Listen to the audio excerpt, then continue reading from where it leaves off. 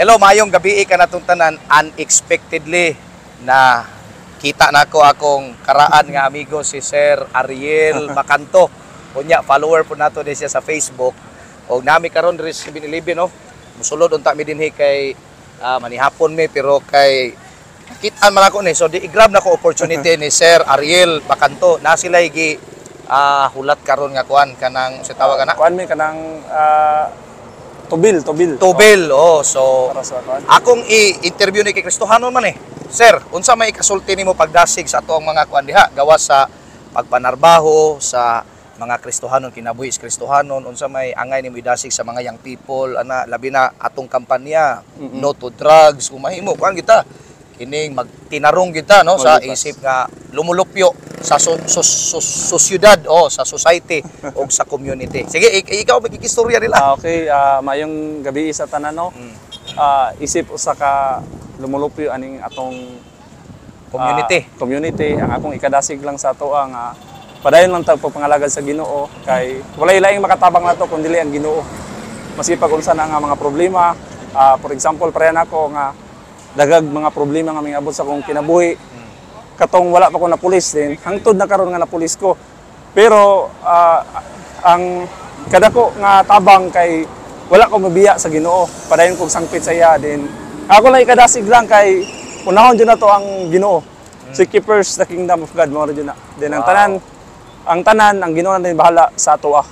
Basta sangpit lang jud sa iya ha. Pila na kay kasi ka tuig sir sa serbisyo? Kuha na pas mag 6 years ko karong July. Six years Oh. na. Actually, sa una na young people pa ni siya. Kana, young people magyapon karon, young magyapon. Pila na Yang edad gabon, karon sir? 29. O 29 kanang amigo kay mi kay ga workout mo ni. Oo. Ah, dako kayo hugok to no. So ako na challenge ko nagamay ko. o na challenge ko nga mag-workout. So ang atong idasig sa mga young people mag mag-workout, Oh, workout. mag physical fitness, pero seek keepers the Oh, kingdom. mo jud. Pangalagan yun. Then wala jud sa bisyo dapat likay sa bisyo. Oh, likay sa bisyo. Oh. Nya nindot kayo kay gikan sa pagkayang people, nag-workout unya nag-meet mi sa una karon amigo gyapon nakita mi pulis na. Pulis. Six years na nga naa sa serbisyo unya nakatabang sa community no. Oo, gikaloyan jud sa Ginoo pas. Kabalo ba ka sir nga serving the community is serving the Lord. Mo jud, mo jud. Kay numdum kadtong niingon gani si Jesus kang ah, Peter nga, do you love me more than this? Ingon siya, yes Lord. Katulog yun, do you love me Katulog. more than this? Balik-balik man to niya. Yes Lord. Do you love me more than this, Peter? Yes Lord. Ingon dayon ang nganong nisulti sa katulo daw kay katulo mo puto siya gi gi deny, Oh, gi deny. Pero ang tubag ni Jesus, the moment nga mayon siya nga do you love me more than this, ingon siya, feed my sheep, feed my lambs. Meaning to say, if you want to love God, then show it to the people. People. oh. Love people, meaning to say loving people is loving God. Tama tama. Tama no? Tama. Serving the people is serving God. You cannot serve God by, siyempre, makita ba rin mo Ginoo, di Dili, makita ang. Ginoo. Pero by serving the community, by serving the Oo. people, you serve God. Oo. So kanay mong gihimo nimo, abi nimo wa ka nag-serve sa Ginoo, you serve God.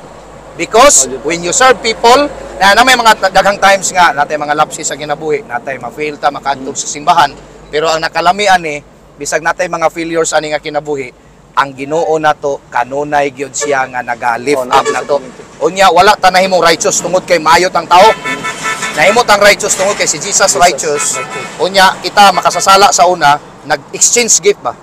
Ang iyang pagkamatarong naani mo ug iyang pagka yang ang atong sala tuan niya gilansang siya sa cross mo na ang Christianity is it's an exchange life and then ma-change ang atong kinabuhi. Usa ka mo mga naminaw din ha. Oh, padayon mo paglantaw ani nga video, inspiring nga video si pastor ipakita niya sa impasiaw din ha.